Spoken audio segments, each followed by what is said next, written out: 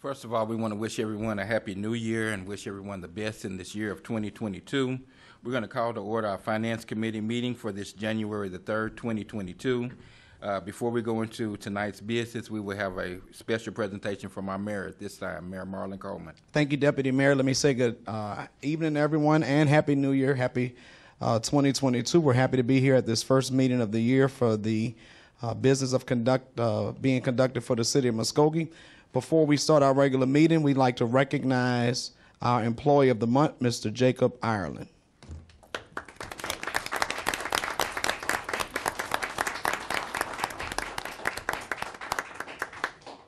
Come on up, Jacob. So Jacob uh, began working for the city of Muskogee in 2013 as a temp for the street department. In February of 2014, he was hired as a full-time water district maintenance worker two. After being employed a little over a year, he was promoted to operator one, a position he held until last year when the position was regraded as a maintenance leader one due to the diligence of key personnel such as uh, Eric Time and Mike Stewart and Mike Miller. Jacob was born in Muskogee at Muskogee Regional Hospital, now known as St. Francis, in January. You want me to say the date? 1989. that made a lot of the rest of us feel kind of dated. Um, Jacob lived off of South 24th Street until the age of 10 when his family moved to the Webbers Falls, Warner area, where he completed his education at Warner Public Schools. Jacob's hobbies include spending time with friends and family, weightlifting, and doing projects around the house with friends. Uh, ladies and gentlemen, please help me celebrate our Employee of the Month, Mr. Jacob Ireland.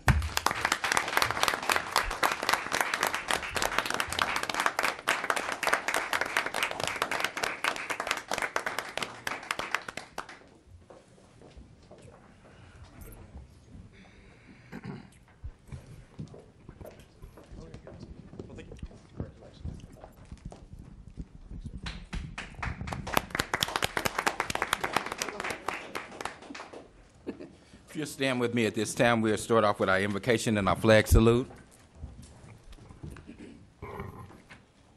Dear Lord, we come once again just thanking you for the gift of another day. We'd just like to thank you for giving us the blessing of seeing the year of 2022. Just ask that you would just bless each and every one of the members of our community as we get ready to go into this new year.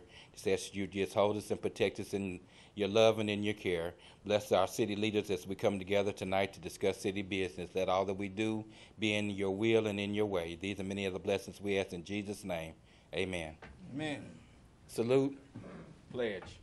I pledge allegiance to the flag of the United States of America and to the republic for which it stands, one nation, under God, indivisible, with liberty and justice for all.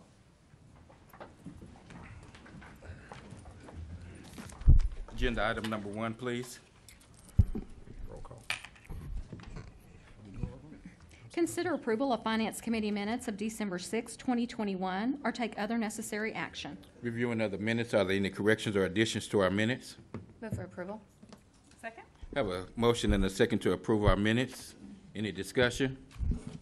Roll call, please. Tracy Hoos. Yes. Tracy McGee. Yes. Stephanie Morgan. Yes. Jamie Stout. Yes. Ivory Vann. Yes. Deputy Mayor Derek Reed. Yes. Mayor Marlon Coleman. Yes. Item number one passes. Item number two, please.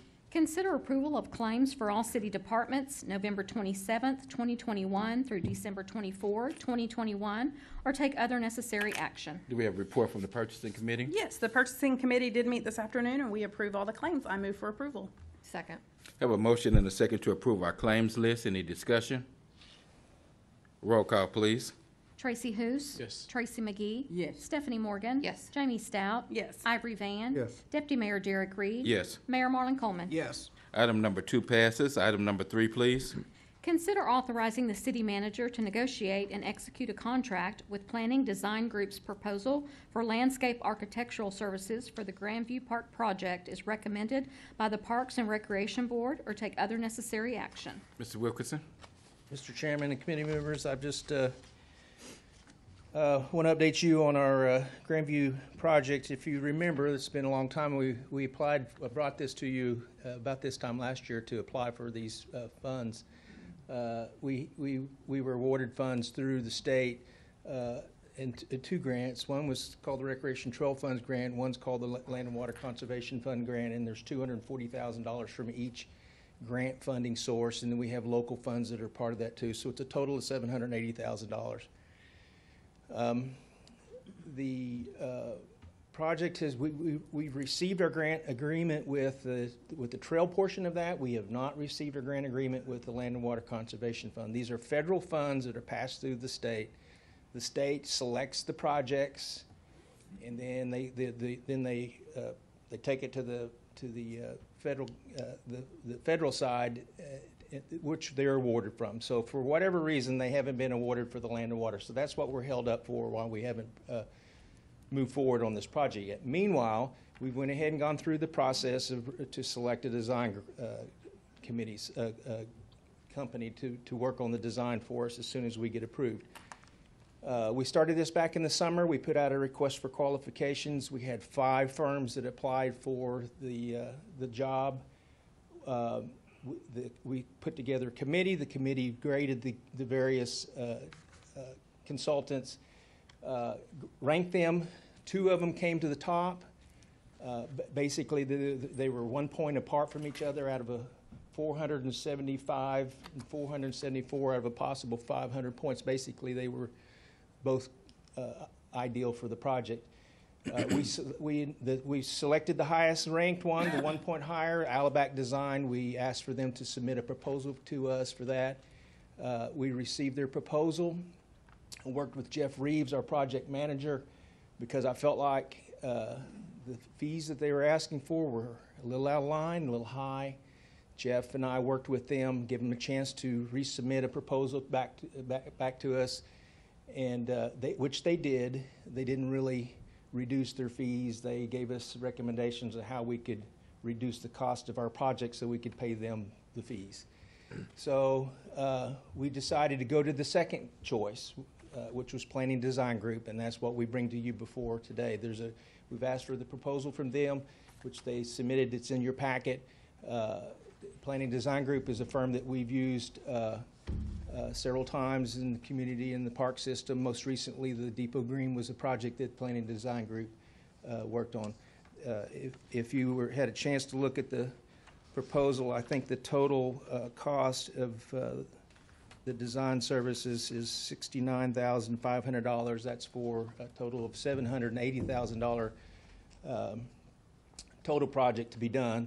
Um, We took this to Park Board this past December. Park Board recommended the Planning Design Group, kind of told them the whole story. We've never done this before where we selected a, a firm and didn't come to an agreement on a cost. So we're, we've, uh, we're recommending that we go with the Planning Design Group, uh, basically because it's saving us a significant, uh, more money that we can spend in the park, doing more construction in the park.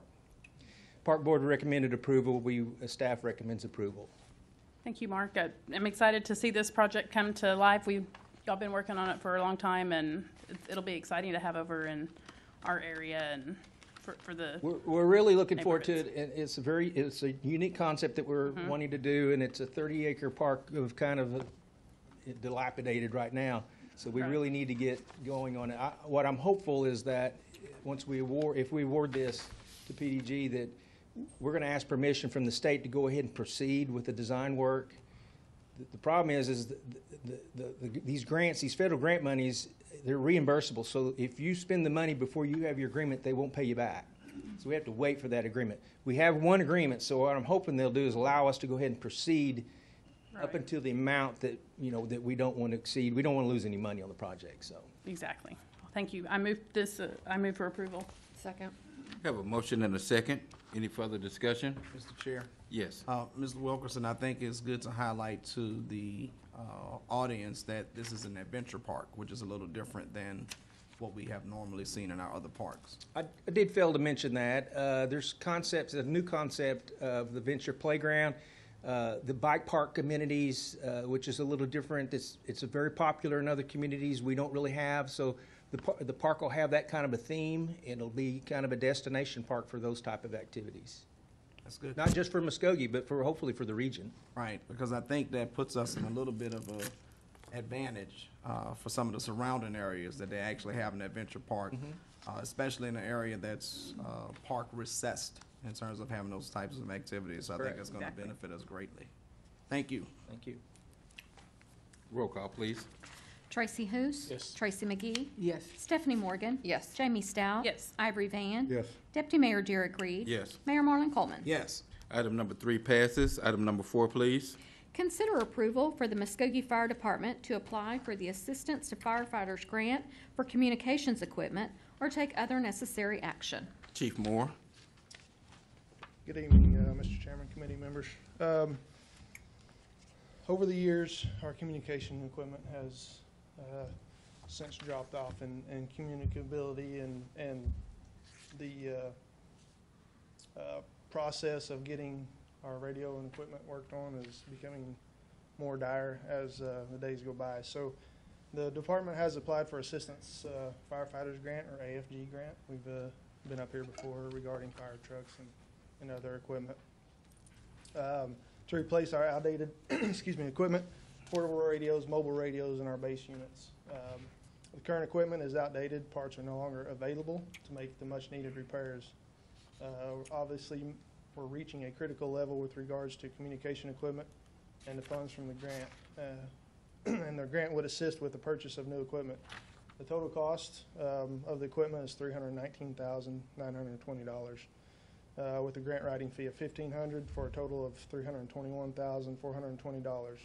So that would be a ten percent match from the city, uh, which would total twenty-nine thousand, two hundred and twenty dollars. Um, I do recommend approval and be happy to answer any questions. Any Move for- questions? Move for approval. Second. Great opportunity. I Have a motion and a second to approve this agenda item. Any further discussion? Mr. Chair, Yes. um, Chief Moore, if you don't mind, give us an idea um, what the cost per radio is. So, again, these are our portable radios, um, which are basically our handheld radios, and then our units in our vehicles, as well as the base units at the station. Um, the portable radios are around thirty-four hundred apiece. So, base units are approximately, uh, about that same range as well, and then the base units are like six grand apiece. Thank you. I asked that question so that the committee could be uh, mindful of the fact that if this grant fails, um, we need to be able to have the appetite to move expeditiously to be certain that these equipment needs are met. Because if I'm not mistaken, we probably have the same issue with the radios and equipment that are used by the police department. Absolutely, yes. Um, I know Muskogee Communications, uh, has even purchased parts on eBay just to service our radios and our equipment. Uh, So obviously, that's a pretty critical level when they have to do that, so. So if it's three hundred thousand for the fire, it'll probably be maybe seven hundred thousand total um, to cover both departments. Absolutely. I just want the committee to have that information so that if the grant does not pass, we need to have the appetite to be able to move forward in another Yes, sir. direction. Thank you, Thank you. Mr. Chair. Thank you. Roll call. Tracy Hoos. Yes. Tracy McGee. Yes. Stephanie Morgan. Yes. Jamie Stout. Yes. Ivory Vann. Yes. Deputy Mayor Derek Reed. Yes. Mayor Marlon Coleman. Yes, Item number four passes. Item number five, please. Consider approval of lowest and best bid from Five Star Demolition LLC for two dollars and forty-eight cents per square foot for the City of Muskogee Foundation and City Demolition Project, or take other necessary action. Ms. Callahan? Uh, Thank you, Mr. Chair, committee members. This is a demolition bid that we uh, published twice in the Phoenix and sent out to local contractors. We did receive two bids, Level Excavation LLC and then Five Star Demolition. This project was bid per square footage. That way we can switch out houses if um, they kind of get pulled at the last minute, which always happens. Uh, people decide to tear down themselves or um, want to magically fix them up at the last minute. Um, the uh, project does consist of the dilapidated structures that have gone through the process and that will qualify, and that we are now doing a Santa Claus checking the list twice, and Roy will then check it the third time. Um, and we'll make sure that it's all um, been through all of the process and they're ready to be torn down. Staff does recommend approval. The low bidder was two dollars and forty-eight cents a square foot, and it is um, foundation funding and also capital improvement funding. And we're hoping to have this uh, be a- an annual contract to where they can continue the demolition and possibly get some more funding into the next fiscal year and just keep moving along with demolition. Thank you, Tish. I had a question. How many houses have been identified? Um, I, I printed off a list of almost three hundred, but we need to make sure that we have all of those are kind of duplicates or they haven't gone through the complete process. So that's why we're double checking the, the list. Um, I could identify probably thirty, especially those that have burned recently. Thank you. Shouldn't I be recognized? Yes. I was wondering, Tish, do we still have the program, like if I have a house that needs torn down and the city tears it down, do we still have the grant pro- process?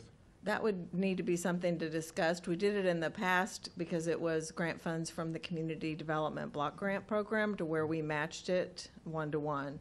And the, the city's match was, the grant part was what was waived on the demolition, that half.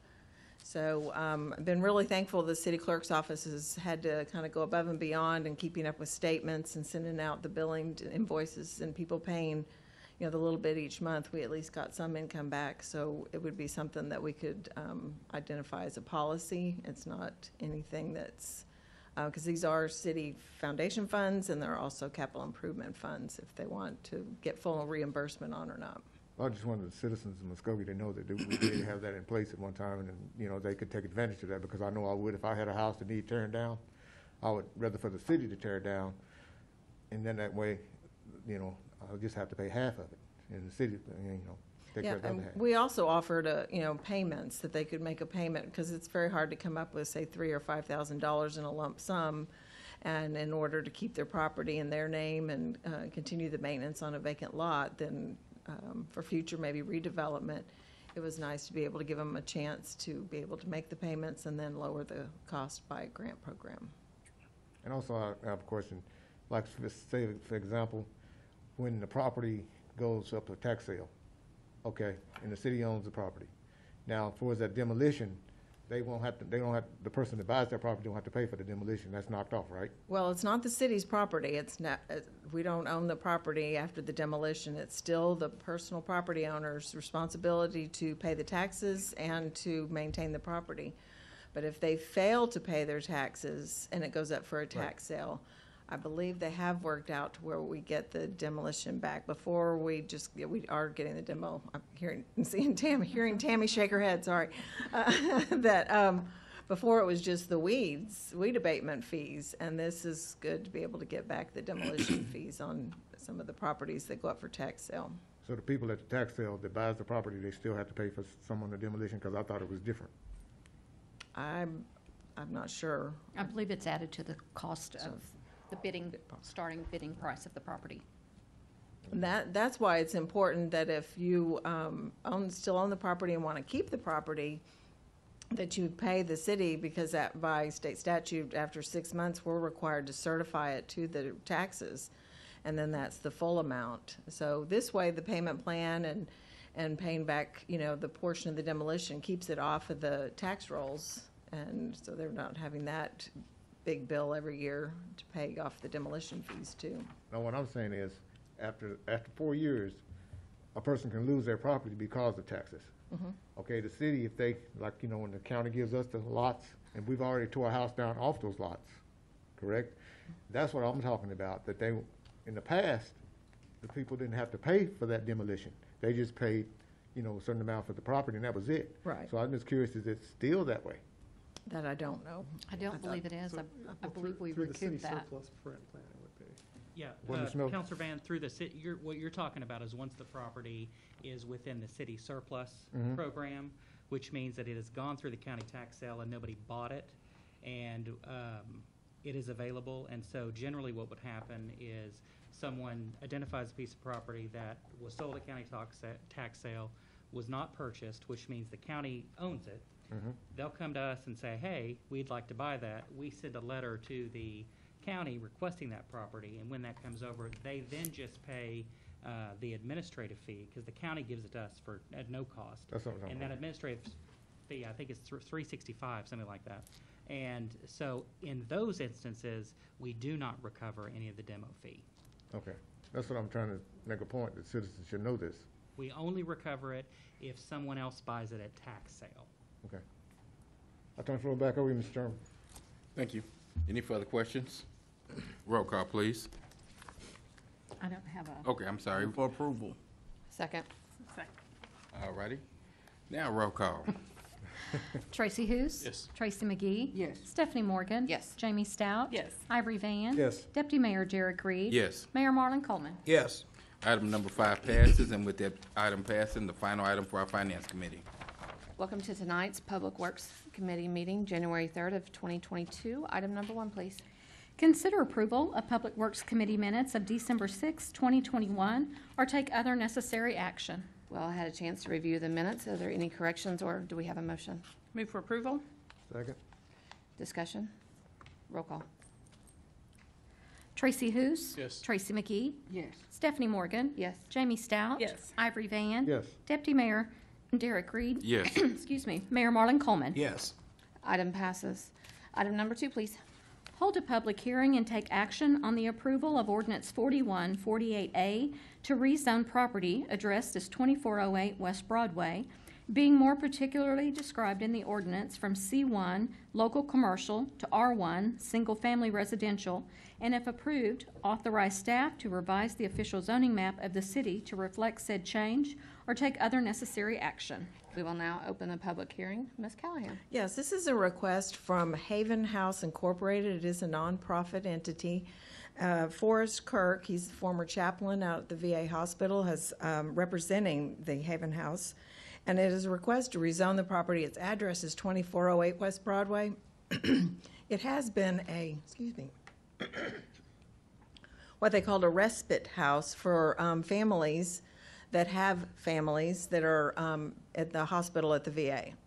So it's been used residentially all these years. I believe they said from 2008. It's the inside has not changed to any commercial use. It has all just been residential, but because it was used as kind of a business for the respite care, um, they have now decided to sell the house. And in order to do so, in the VA loan, it is required to get zoned correctly for its residential use, and therefore they're uh, requesting a downzone from the C1 to the residential zone. The surrounding area is residential. There is some commercial on the corner, and the, of course, the shopping center that's across the street. But we haven't had any uh, questions regarding it. Just curious as to what was going on. It's one of those that we don't usually downzone. We usually have either a higher commercial uh, zoning request, but um, this is to just clear up the paperwork to sell the property. Thank you, Tish. Move for approval? Second. We have to close the public hearing first. Close the public hearing. We have a motion, or a second and a motion. Roll call. Tracy Hoos. Yes. Tracy McGee. Yes. Stephanie Morgan. Yes. Jamie Stout. Yes. Ivory Vann. Yes. Deputy Mayor Derek Reed. Yes. Mayor Marlon Coleman. Yes. And the item passes. Item number three, please. Consider approval of ordinance 4145A, amending the City of Muskogee Code of Ordinances, Chapter 78, Traffic and Vehicles, Article 3, Equipment, by adding Section 78-77, coupling devices and towing methods for trailers, semi-trailers, manufactured home, or towed motor vehicles, by providing for codification, repealer, severability, and setting an effective date, or take other necessary action. Mr. Tucker? Thank you, Madam Chair. I'm going to turn the floor over to Ms. Bodenhammer, who will cover this item. All right. Thank you. Uh, Pursuant to our periodic reviews of city ordinances, we are requesting the addition of a towing ordinance to be included in the language from the state statute so that we can prosecute violations in our municipal court. This proposed addition to our existing ordinance adopts the safety guidelines for towing and coupling devices by providing for codification, repealer, severability, and setting an effective date. We recommend approval of this ordinance amendment to add section 78-77, and I'm happy to answer any questions. Ms. Bodenhammer, what's the Cliff's Notes version of what this corrects? The Cliff Notes version is this corrects so that it will prevent citizens in our city from towing a car, for instance, with just a rope attached to it, or towing a mobile home, um, or, or like one of those teardrop trailers, something like that, where they just attach a single chain. This is going to require a coupling device. Um, for instance, I have a, a trailer, a travel trailer, And it has a chain and it has a safety chain with a device that keeps it from swaying. And they're readily available at pretty much any auto supply store or camping equipment gear. And it's, um, the way, the way things are right now, we can tow something by just attaching a rope to it, which is not safe. Oh, And I do want to clarify something. Um, Towing by rope is still illegal. Uh, The problem is the location of where it can be prosecuted. And so i- this has already been been made illegal by state law, and so any violations are prosecuted in state court, not through our own municipality. However, if we adopt that provision within the code, then we can prosecute the violations within municipal court. And so we've taken the approach in reviewing our ordinances is anything that's illegal in state law that we can prosecute, we should be able to do that as well. So this is part of that process. Thank you. Thank you, Mr. So Mr. are we Tucker. saying that if we prosecute them from the met- metropolitan level, state also prosecute as well? Just one. Just one, okay. Yes. And what prompted the change? Just updating the, We, we did a uh, legal review of all of our ordinances a few years ago and have been periodically going through and making modifications just as time allows. Uh, None of these things are uh, anything that are time sensitive because, as I said, they're already illegal. Uh, But incorporating this into our code, number one, helps the police officers because they're more familiar with our city code in most cases and can pull that up much quick, much more quickly uh, than they might be able to do for state law. Um, But of course, on some things, they're much more familiar on state law. Um, But additionally, if there are any violations, we can prosecute those and retain the fine ourselves, rather than having to file those cases in the county, and the uh, Muskogee County retains any of the fines. And what amount do we put on the fine? Is that state statute of the amount, or is it something we set? It is something that our municipal judge sets, and so um, the amount for this will be, um, since it is a standard traffic ordinance uh, violation, it would be um, somewhere between a hundred or two hundred dollars, depending on what she sets. And so um, those ordinances, um, the maximum would be two hundred plus cost would be two sixty-five. Unless the judge decides to set it at one hundred, then it would be one sixty-five. Thank you. I have a question. So at the state level, is it a range? So in other words, if it goes to state court, will the judge say, here's the range that they can set, or is it a They set? usually, they'll usually have a schedule. Okay. Um, I couldn't tell you what the fine is for the state, except all of theirs are about six times what ours are. So it would probably be in the five hundred range. Okay. Thank you, Mr. Tucker, You're welcome.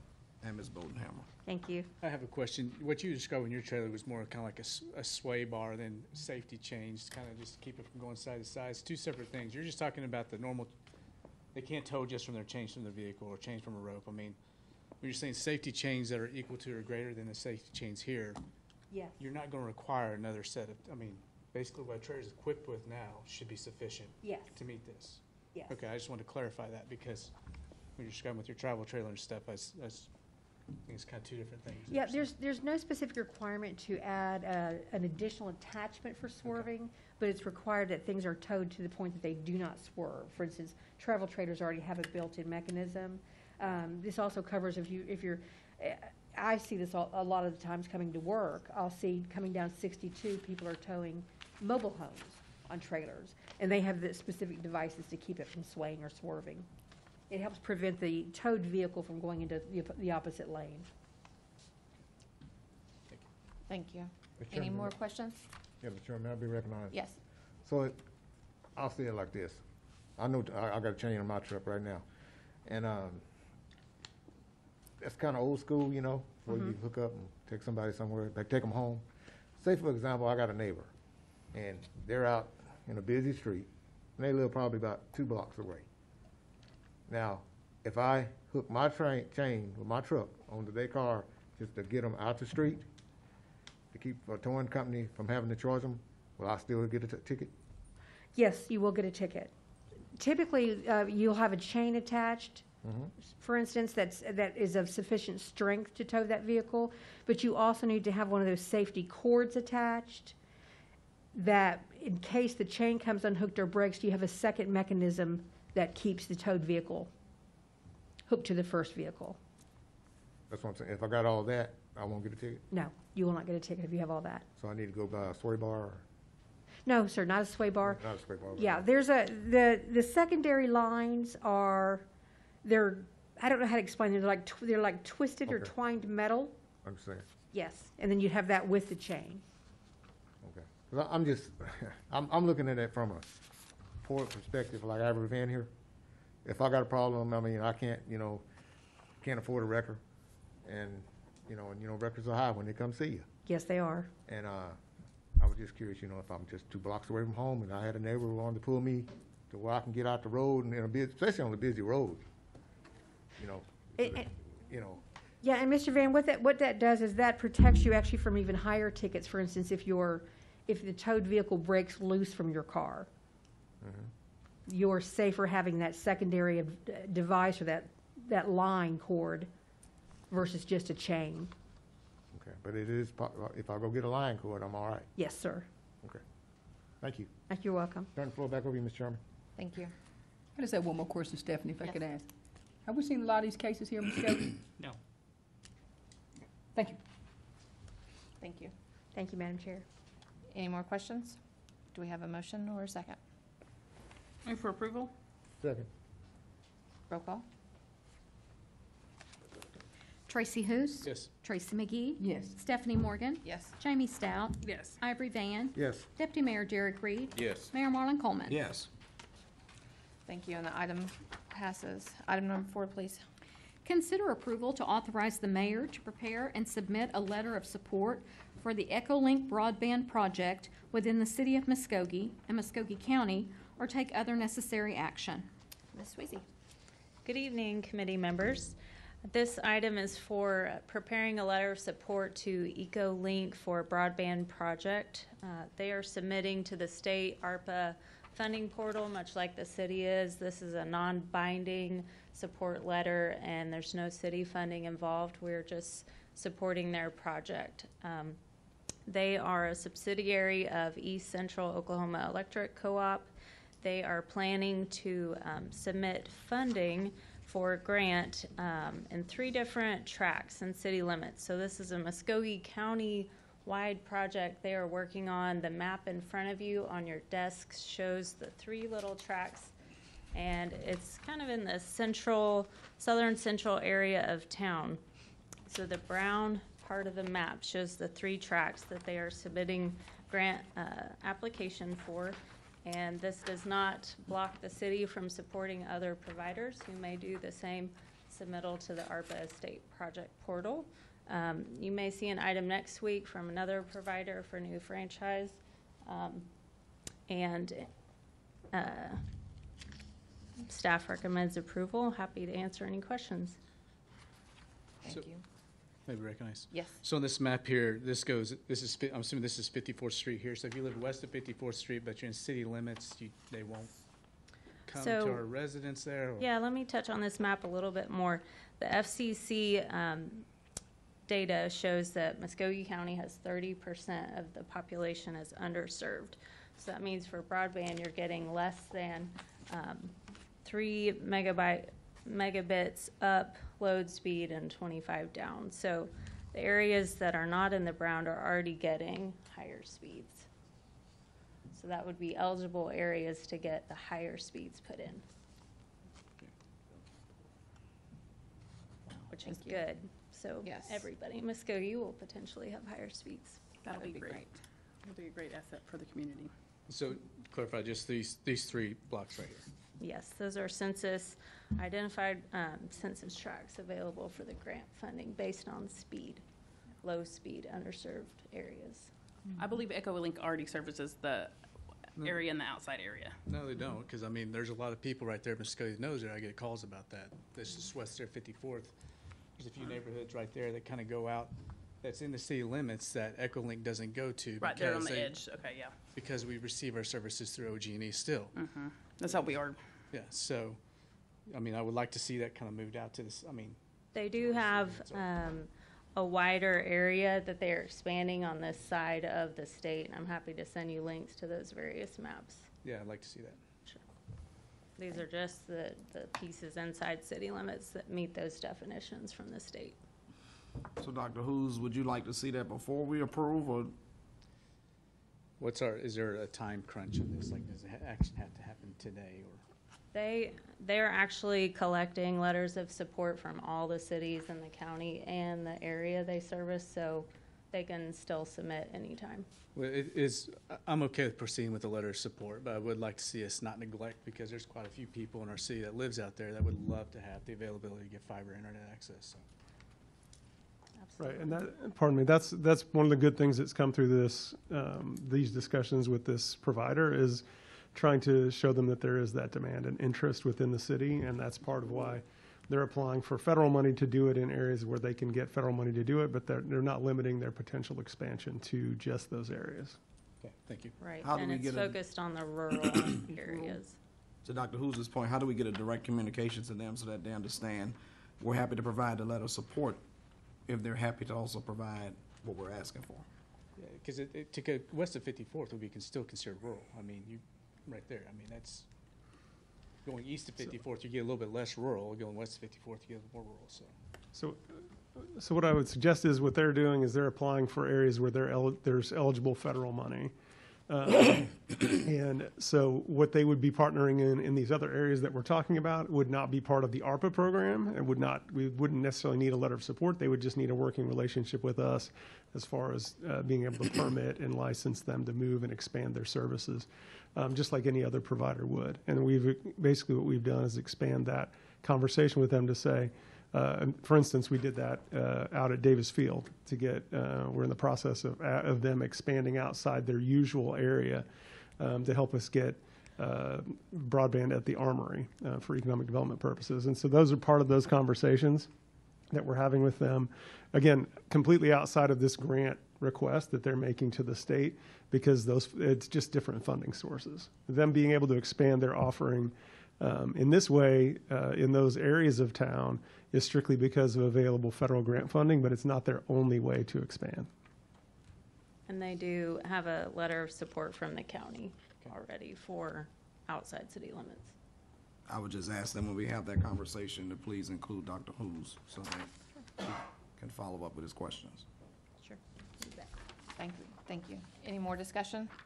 Or do we have a motion and- and a second? Move for approval. Second. Roll call.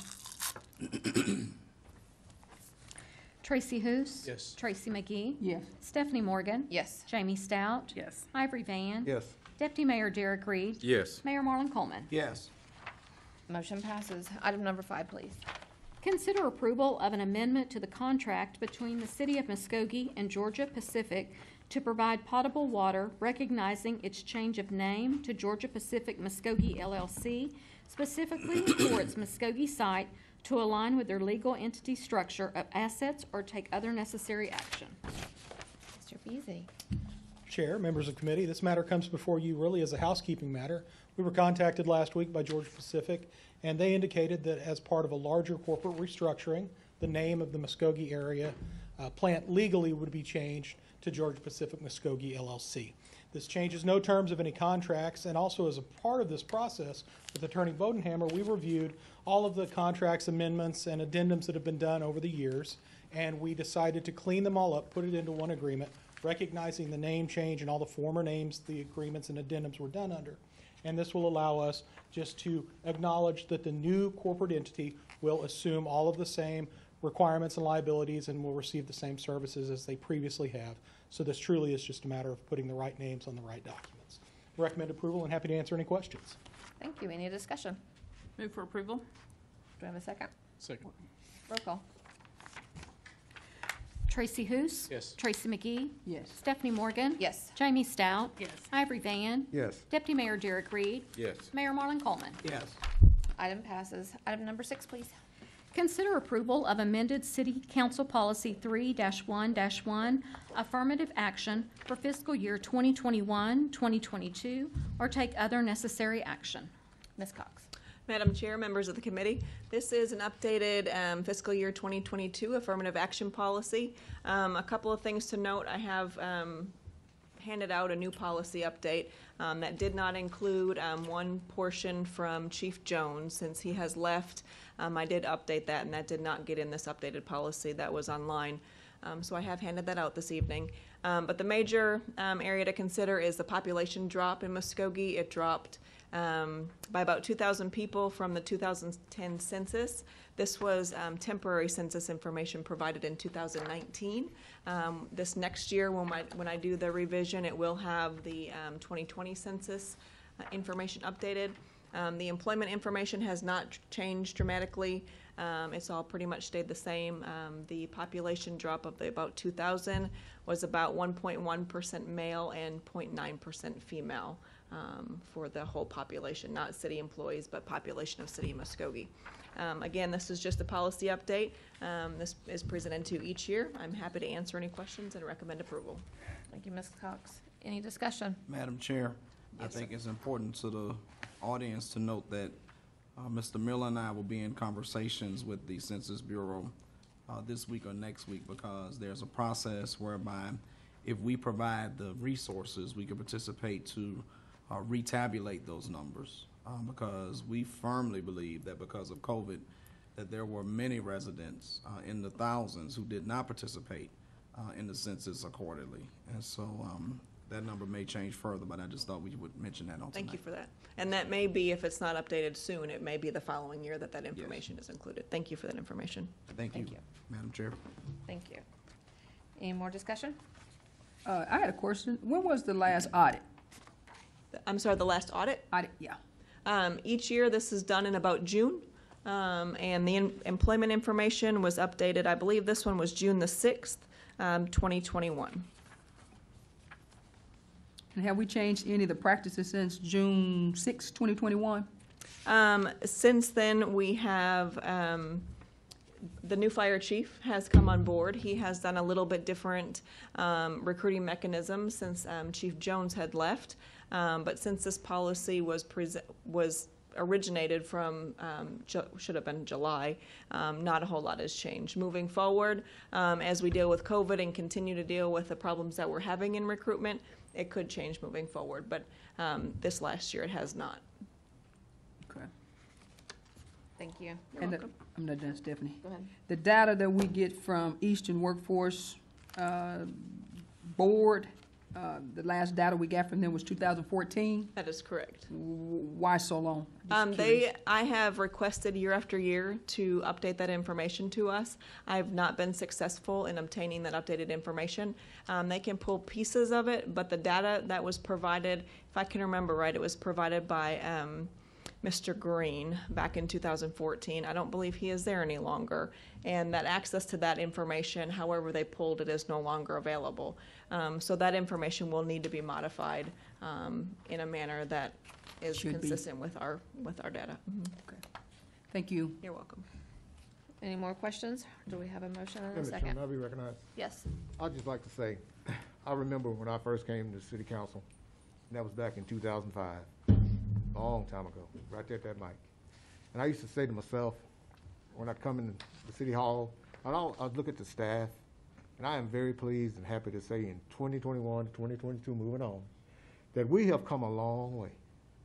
Because when I used to come up here, right, it used to be just probably, it was two minor, well, one minority was here named Shirley. She was old person. She was department head.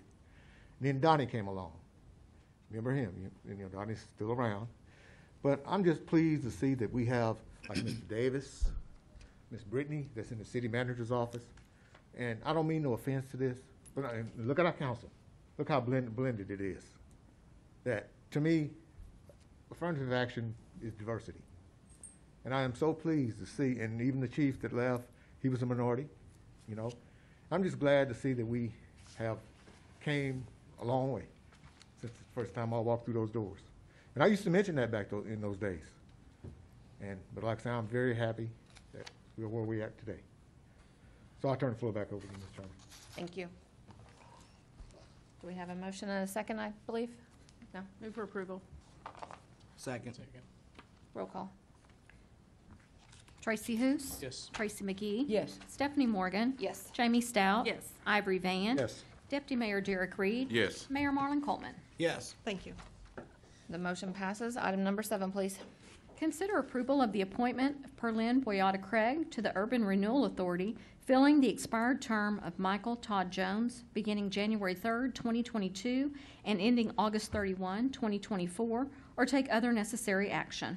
Deputy Mayor Reed. Thank you, uh, Madam Chairman. Uh, I have um, presenting uh, Ms. Perlene Boyati Craig. She is uh, one who lives in our Ward Three area. These are, this is one of the boards that you have to appoint someone from your ward. And you're talking about someone who uh, is willing to serve on committees and enjoys serving on committees. She found herself with a vacancy, so one thing we do is keep her busy. So I'm honored to uh, keep her keep her in the grind by uh, putting her on the Urban Renewal Committee. I highly recommend uh, Ms. Perlene Boyati Craig, and I make that my motion. Second? Any discussion? Roll call. Tracy Hoos. Yes. Tracy McGee. Yes. Stephanie Morgan. Yes. Jamie Stout. Yes. Ivory Vann. Yes. Deputy Mayor Derek Reed. Yes. Mayor Marlon Coleman. Yes. The motion passes. Item number eight, please. Uh, Madam Chair and Committee, before I read this item, I wanted to point out that the expiration date of this item is incorrect. So as I read the, the item, I'm going to put the correct date in there. So I would think any motion will have to be as amended.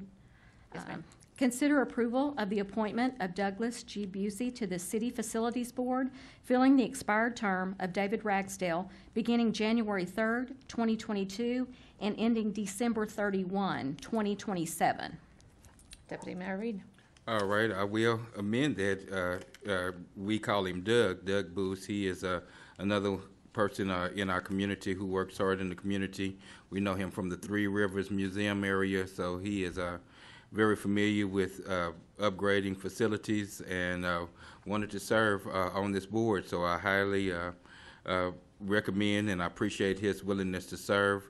Uh, and so with the amendment of, to 2027, he's going to be stuck a little bit longer than printed. But I uh, would like to appoint Mr. Doug Booth to the Facilities Board. Move.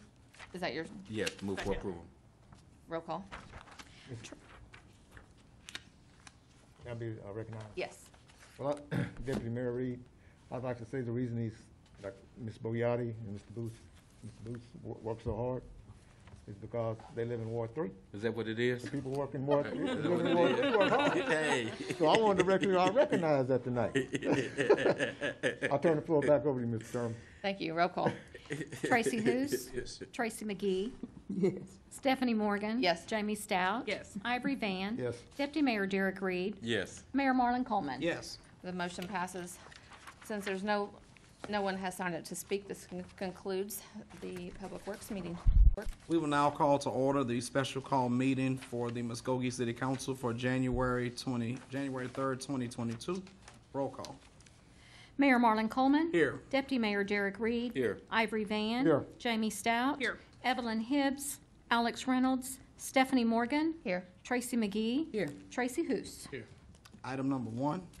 Pursuant to Section 307C11, Title 25 Oklahoma statutes, consider convening an executive session to discuss matters pertaining to economic development within the urban renewal project area and the northwest quadrant of the city of Muskogee, and if necessary, take appropriate action in open session. We will now consider a motion to go into executive session. Move for approval. Second. We have a motion and a second to convene an executive session. Roll call. Tracy Hoos. Tracy McGee. Yes. Stephanie Morgan. Yes. Jamie Stout. Yes. Ivory Vann. Yes. Deputy Mayor Derek Reed. Yes. Mayor Marlon Coleman. Yes, we will now excuse ourselves into executive session. I'm going to ask that all of those who are not pertaining to this item, if you excuse yourself at this time.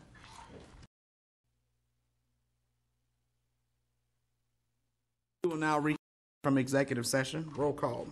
Mayor Marlon Coleman. Here. Deputy Mayor Derek Reed. Here. Ivory Vann. Here. Jamie Stout. Here. Evelyn Hibbs. Alex Reynolds. Stephanie Morgan. Here. Tracy McGee. Here. Tracy Hoos. Mr. Tucker. Pursuant to Section 307C11, Title 25 Oklahoma statutes, the City Council did convene an executive session to discuss matters pertaining to economic development within the urban renewal project area and the northwest quadrant of the city. After being briefed on the status of an updated uh, potential uh, project, uh, I believe no, no action is necessary at this time. Mayor? Thank you, Mr. Tucker, members of the uh, council. We are adjourned.